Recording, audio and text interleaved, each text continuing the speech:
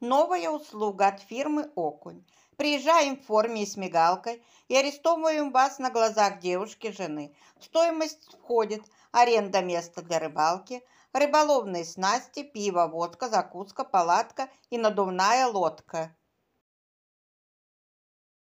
Второй год думаю, ну почему, почему, почему? Когда говорят розыгрыш призов, все слышат призы, и никто не обращает внимания на розыгрыш.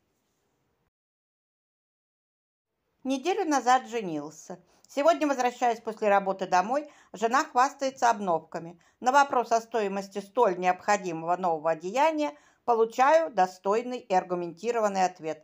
«Какая разница? Это ведь моя зарплата!» Промолчал. Вроде как и не поспоришь. Жена, немного подумав, говорит. «Любимый, прости, я не должна была так говорить.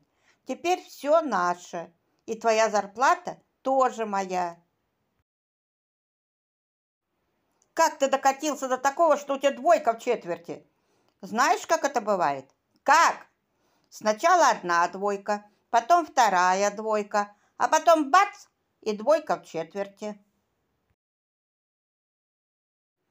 Приходит к доктору дедуля и говорит, знаете, совсем со здоровьем плохо стало.